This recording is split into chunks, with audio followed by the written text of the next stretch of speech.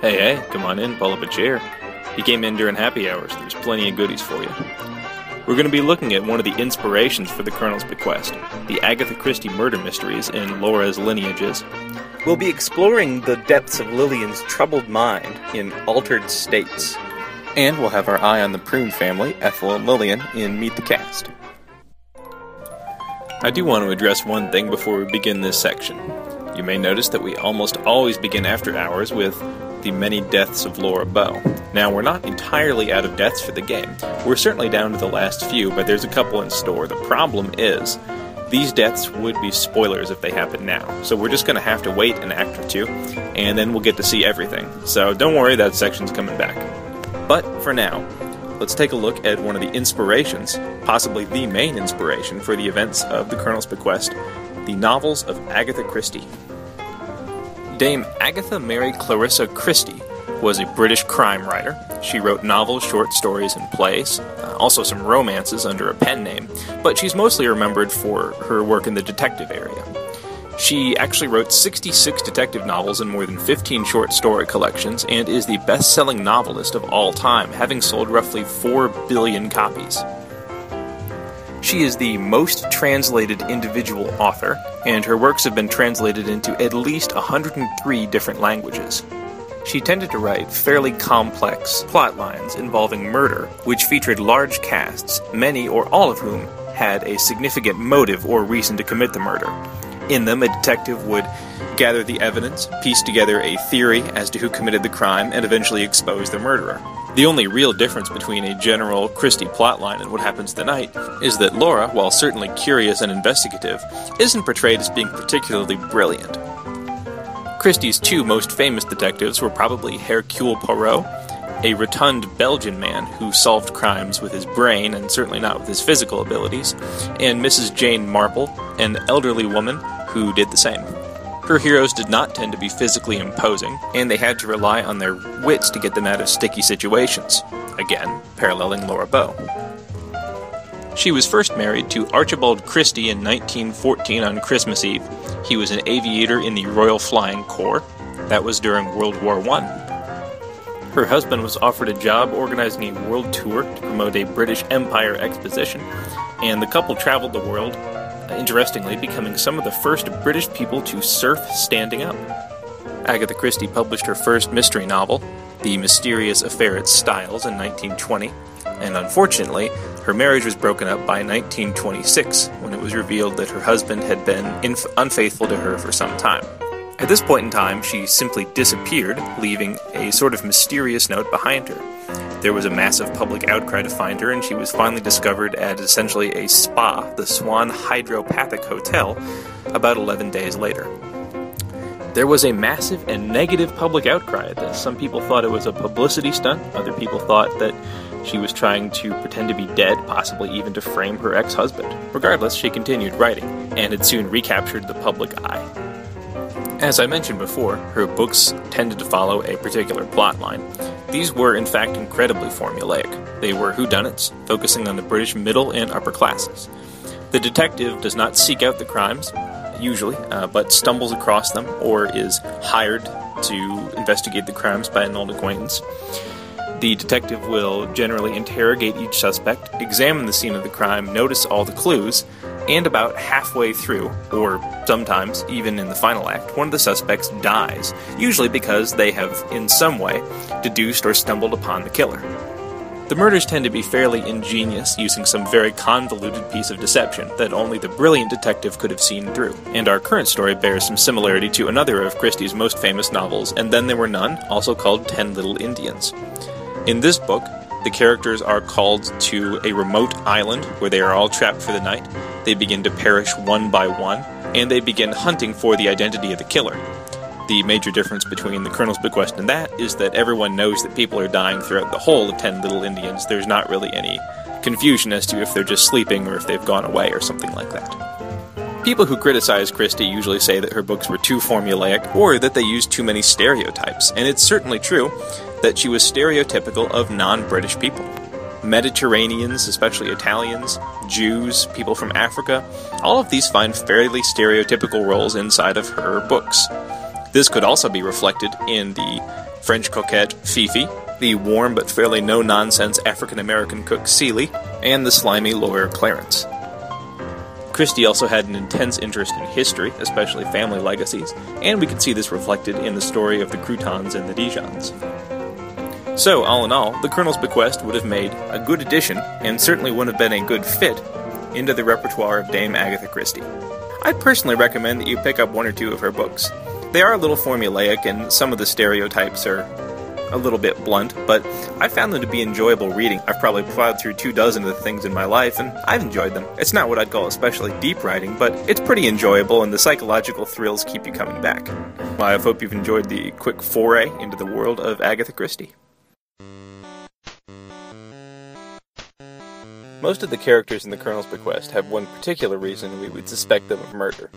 Clarence has a ton of debt, Rudy has an anger problem and also some debt, Ethel is really drunk, and so on. But Lillian's reason, and I'm pretty sure this is not a spoiler by this point in time, is that she is crazy.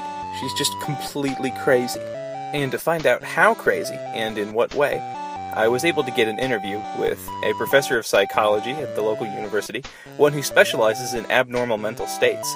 I sat down and described the background and actions of Lillian during the night, and asked them how they would diagnose Lillian if they were given them as a patient.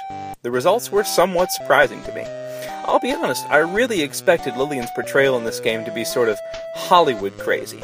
In other words, entertaining to look at, but not very realistic. What I found, though, was that Lillian's portrayal might well be a fairly accurate case of dissociative personality disorder, better known as multiple personality disorder. Now, this is never acknowledged in game. They never actually go into specifically what her her problem was for being crazy, but it seems to fit the facts fairly well. Multiple personality disorder, dissociative personality disorder, occurs when there is more than one personality types or personalities that a person develops. In a way, it's like multiple people living in the same body. This is more common among women than it is among men, and it's especially common when there's been a traumatic childhood. Lillian certainly fits the bill as far as that goes, with her father committing suicide and her mother being alcoholic and basically non caring. We can even see some clues throughout the night that this might be what's going on. I had originally assumed that when we catch Lillian in the playhouse playing with dolls, that had been regression to some kind of a childhood state, and in a way it might have been. It could be that one of Lillian's personalities was childish, that in order to relive happy memories from her past, or to protect the rest of her mind from unpleasant events, sometimes her brain regresses her into a childhood state. At least in some cases, it's thought that multiple personality disorder occurs in response to extremely traumatic events, where the mind essentially protects itself by fracturing into a number of different personalities, each of which are useful in some way to the main personality. So, in other words, say in Lillian's case, it could be that the childish personality is useful when Lillian is feeling extremely overwhelmed and nostalgic for the past, that in a way she can actually relive that past through the personality. This would also explain how minutes later, 15 minutes later, you'll find her being perfectly fine wandering about the mansion and making small talk with you. There's no set number or kind of personalities that can occur in multiple personality disorder. There can be anywhere from two to many dozen, and they can include all kind of genders, ages. There can even be different species. Some people's personalities will even include animals. They might suddenly start walking around and barking like a dog. Different personalities will have different names associated with them. If we really wanted to give the writers a lot of credit, we might say that that is one possible explanation for why you were unable to talk to Lillian when she's in her room, but you were able to talk and Lillian answers. It's because that personality at that time was not in fact Lillian. There will typically be one main personality and a variety of sub personalities. The sub personalities will be aware of each other and of the main personality, but the main personality will not be aware of the sub personalities. So, what this is getting at is if Lillian is in fact the murderer, it's very likely that one of her personalities is extremely violent, or at least willing to use violent ends to accomplish its means. And the main character, Lillian, when she's just chatting with you or talking to her uncle, is totally unaware that she has been doing these terrible things. It's also worth noting that subpersonalities can have completely different outlooks on life and even moralities than the main personality. So it's possible that the Lillian we know may be non-violent and amiable, whereas one of the sub-personalities might be vicious and violent. Now, the one thing we do have to say is that Lillian is never Lillian never asks to be addressed as anything except Lillian. There's never any indication that she is in fact a different personality um, inhabiting the same body. However, the facts of the disorder certainly do seem to fit the facts of the evening. So, assuming that this is correct, I have to give the writers props, because this is one place where I figured that they'd just essentially been lazy, and in fact, it, it at least might have been, at least coincidentally was, a fairly deep and accurate portrayal of a certain variety of mental illness. Alright, well, a big thank you out to the professor who furnished that information, and let's get on with it. So, one group that we haven't taken a look at yet on the plantation tonight are the prunes, Ethel and Lillian. Ethel is Henri's younger sister, and one of the few people that he's described as having feelings for. Fifi says that he is made very sad by the fact that Ethel drinks, and although he never admits this to you, although he doesn't really talk to you much at all, it can be surmised that he has at least some feelings for his younger sister.